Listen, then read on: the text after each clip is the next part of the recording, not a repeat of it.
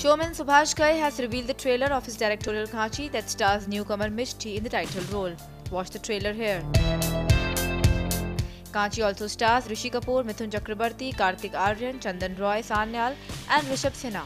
2008 Dutch Yuvraj starring Katrina Kaif and Salman Khan was Subhash Ghai's last outing.